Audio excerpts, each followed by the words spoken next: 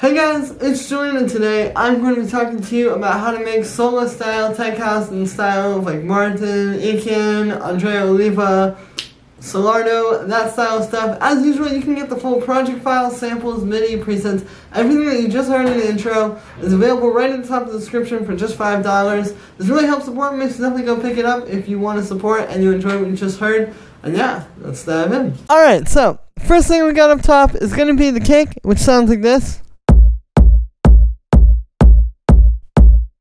Now this one, you can see the main processing here, obviously, you know, you're just going to want like a nice, fat, powerful house kick. You'll notice this one's a little bit more like, like a little bit softer, I think, than a lot of the other kicks that you guys have probably seen me talk about on this channel. So that's something you want to keep in mind when you're making the kick. It's like, not really like, oh, am I using like the right saturation or compression, but like really just going down to like the sound that you have in the sampler. You know what I mean? Like just really listening. Like, this, is this like a softer kick? Is this a harder, like more 909 style kick?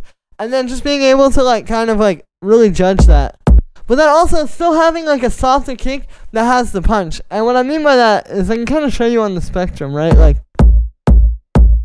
this is obviously like a softer kick. It doesn't have that like like you might have with like a 909 kick. But if you look down here, it still like really hits. And so that's the key. And then the main processing here is that I've tuned it. You can see, yeah, we've got it tuned to A. That's the key of our track. You can see there's the bass line.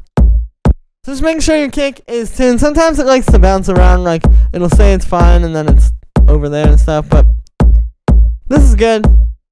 And then also this high pass filter, which is just here in the intro and then the end there.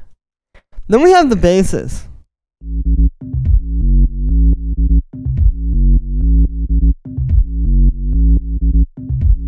So what we're doing here is essentially like one bass line across three different sounds, right? Like the groove is dun dun dun dun dun dun dun dun. dun.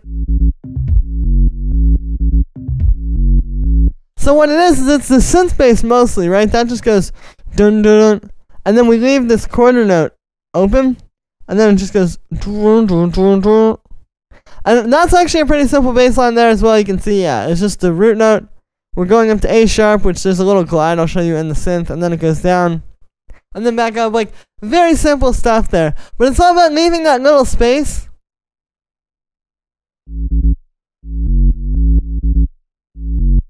And then we can just throw in these little toms. Like, you just create that little short sequence with those, which all that is, is it's just taking the toms and just making, like, this one where I've taken it and it's spread across different octaves and then the other one just goes doom. So just like a do do do, but just kind of like sequencing those like that. Essentially, like it's not that hard. It's just thinking about less like the individual MIDI and more like the overall track, right? And then you just plug it in in between that little space you made with the synth. And the reason why we do this is because you know, in theory, we could just do like this bass line, right? Like we could just make it really simple just like a half note, just like over and over that. And I experimented with that a little bit when I was making this video, but if you listen, like.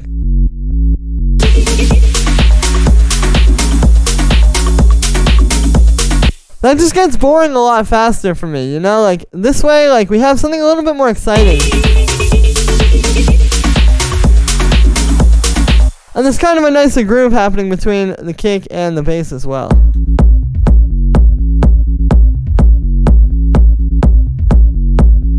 So for effects on this one, the first thing here is we just have an EQ, which is just boosting the lows.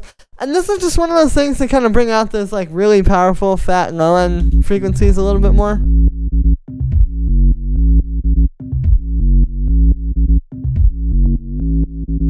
There's without it. And then with EQ here, it just doesn't quite have that same level of pressure until you turn this on. Then we have this auto pan, which is just making everything bounce off of the kick.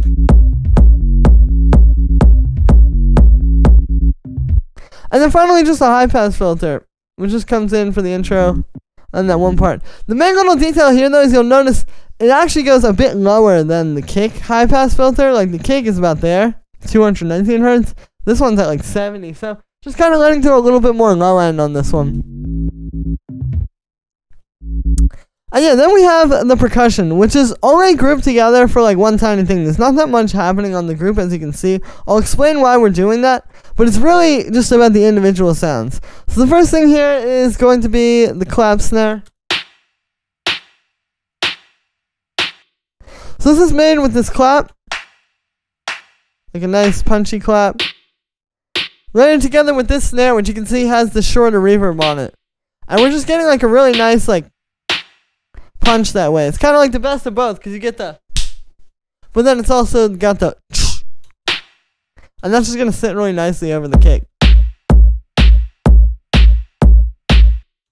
Then we have the main hi hat, which is made of three layers. So the first layer,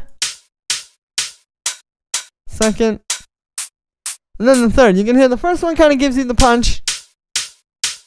The second one gives you like that 909 kind of like and then the third one gives you the really like like bright bright high end and then you put them all together and you get one very full sounding hi-hat. And that's no processing, you know, you don't need a whole bunch of extra compression or saturation. It's just three sounds that when you put them all together at the same time, it's gonna fill it out really nicely and make one really fat sound. Then we have this live shaker, just like a nice live organic loop in there. I think it's important to bring some live organic stuff into here. If you just have the programmed percussion, it's gonna get a bit flat. So you can see we've got that.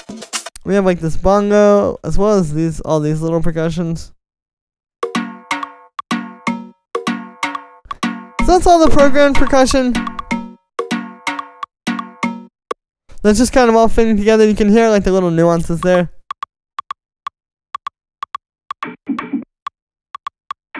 On how it's all fitting it together.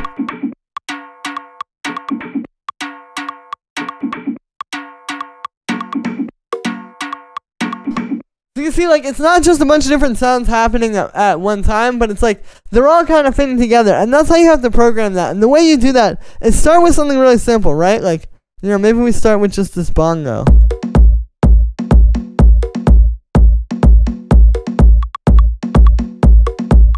And then you can bring in something that's kind of playing off of that, right? And then it's another thing playing off of that. And before you know it, you might have like four or five of these. And that's essentially what's going to create the groove.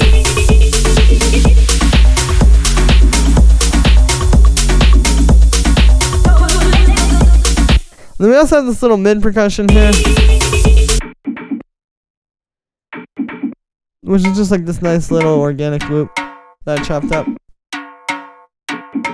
And you know how that's fitting into the groove? We have this live percussion. Just like some nice like organic kind of like live shaker type of stuff. It really brings it to life. Again, I think if you only have the programmed percussion, it's gonna be a bit flat. Like if I turn this off and I turn off the live shaker, you can see like the groove is there. It's just missing that like real like live kind of human element. So that does that really well. Then we have the last thing inside of this percussion group, which is this 909 ride. And so that's just a ride from a 909. I've got a high pass filter on it. It's got this auto pan, so that's what's making it kind of like swoop up like that. And then we also have this echo here. And what's happening is this is really fast, and then it's on the ping pong setting. So you get this like kind of wider stereo effect. I've noticed with rides, a lot of the time, like, you need it to have, like, that kind of width to it. Like, if it's just that, it doesn't really work. It needs to be a bit wider than everything else.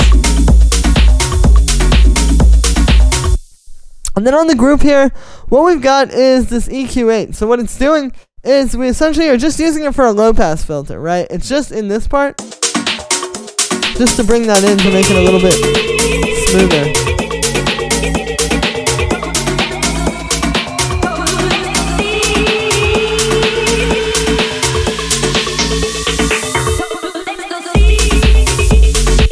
And then you hear it kind of like makes it fade out a little bit as we go right up to the drop. So then this way, it's disappearing.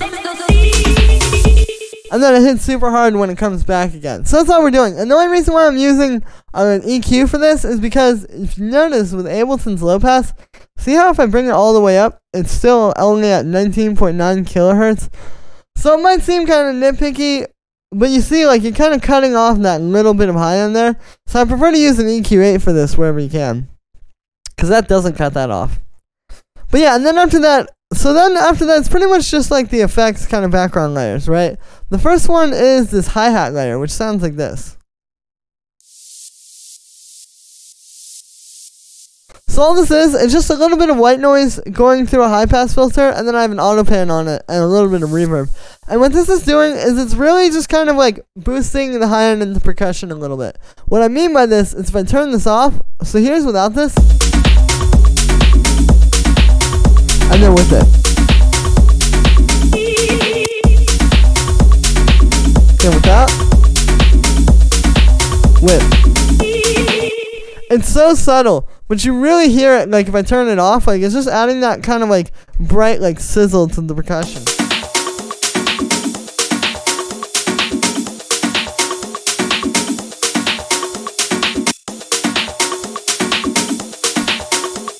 And that's all that's doing. But it's a great way to add that because a lot of times, like you could be sitting there with like an EQ on this group, just like trying to boost the high end and get that to work. But sometimes it might not be about boosting the high end. It might just be about adding another layer that can kind of fill that out.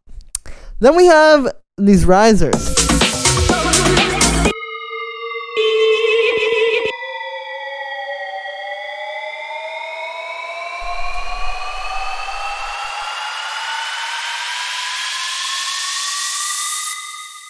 Cool. So the first one here is just a pitch riser. This is made with operator, and the way we're making this is it's like this cool FM patch where essentially you have these two fine tunes being moved up at different times. Like you can see, it's a little bit different. So what's happening is the two oscillators are kind of clashing against each other there.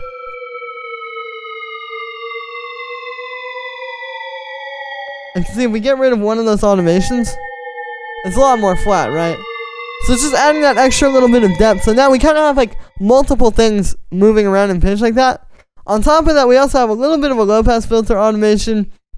And then I'm automating the pitch on, or the fine tune, I should say, on the frequency shifter to get that last little like bit of pitch bend there. And then also a bit of reverb on that. So yeah, it seems like it's a bit more complicated than it is. Really, it's just playing around with different FM stuff and automating different things to kind of make it rise, rise essentially. And then the second one is just white noise. So this is just white noise bandpass filter, which has the automation to go down and then back up and then down here again. Bit of reverb, another high pass filter, and then we just have this auto pan which comes on to make it sound like it's being sidechained to the kick there. And the last thing down here is going to be the vocal.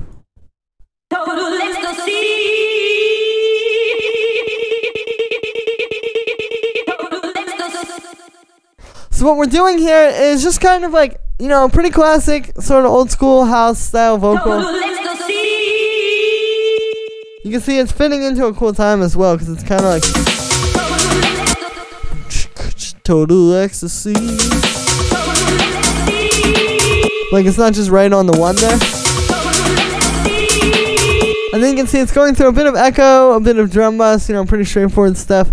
And then we have this auto pan here. And what that's doing is it's doing 16th notes, but the phase is turned to zero. So it's not actually affecting the panning. It's not like we're doing like this crazy auto pan effect. It's just kind of like making so it's only affecting the volume essentially.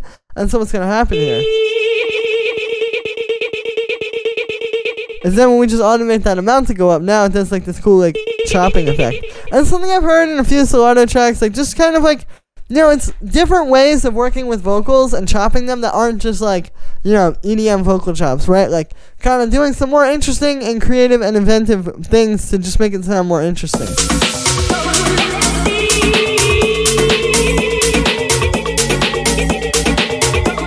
You can also set this to eighth notes.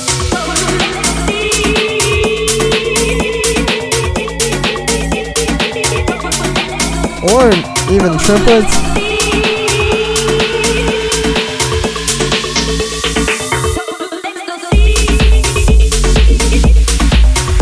uh, yeah, it's just kind of a nice way to chop that and get something a little bit more interesting there. And yeah.